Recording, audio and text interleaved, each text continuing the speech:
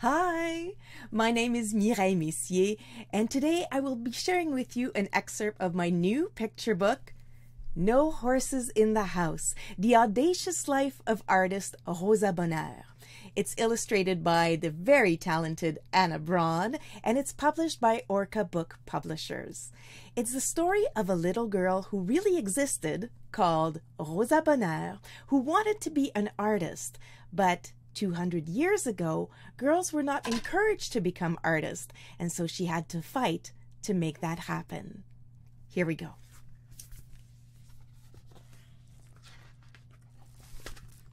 France, 1829. Once there was a girl named Rosa who loved to draw animals.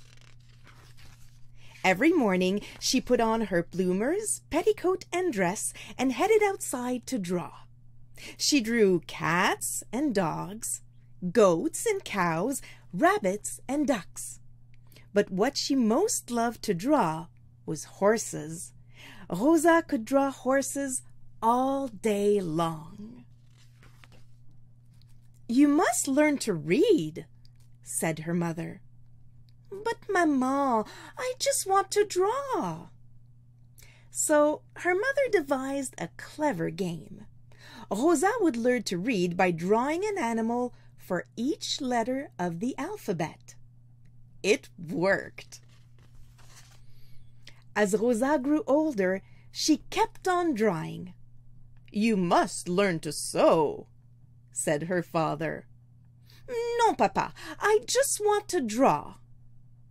Many teachers tried to show Rosa how to sew and embroider, cook, and garden the things other girls her age did.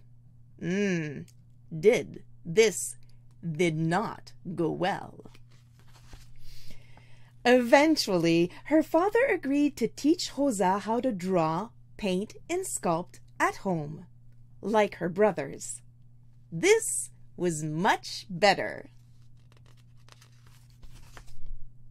But the family's neighbors and friends didn't approve of how Rosa was spending her days. They frowned and said, You can't be an artist. Why not? asked Rosa.